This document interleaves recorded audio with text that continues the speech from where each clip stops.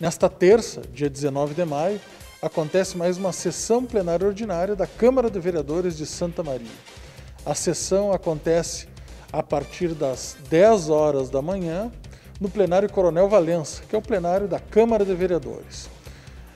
Na ordem do dia, os vereadores vão analisar, em primeira discussão, projeto que institui o Dia do Síndico e do Administrador de Condomínio no âmbito do município de Santa Maria e também inclui essa data no calendário oficial do município. Pode haver alterações, mas a princípio, segundo o boletim legislativo, essa será a única pauta da sessão de amanhã. Você pode acompanhar a sessão ao vivo através do canal aberto 18.2 e também do canal da TV Câmara no YouTube, que é o TV Câmara Santa Maria. Não perca! TV Câmara, a tela da cidadania.